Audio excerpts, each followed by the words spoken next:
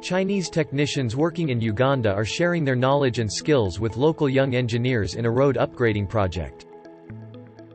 Chongqing International Construction Corporation, a Chinese firm, was contracted to upgrade the dual-carriage 21 km road to bitumen standard from Kira to Matugga. I'm working in the lab as a assistant materials engineer, so I get to look at all the tests being done in the lab, analyze all the material being done, and then sometimes if you want to learn something new, they give you the opportunity to go and learn from a different office.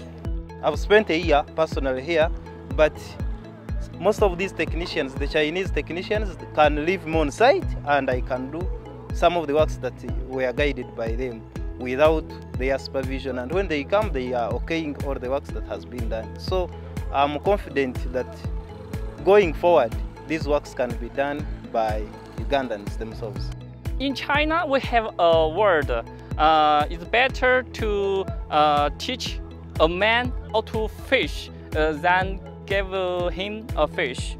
So uh, we want to teach the local people some skill uh, like uh, how to the bricklayer, uh, steel bar worker, and even the surveyor and lab test test people. The project involves more than 10 Chinese engineers and hundreds of local employees. Besides practical lessons, CICO also organizes online training.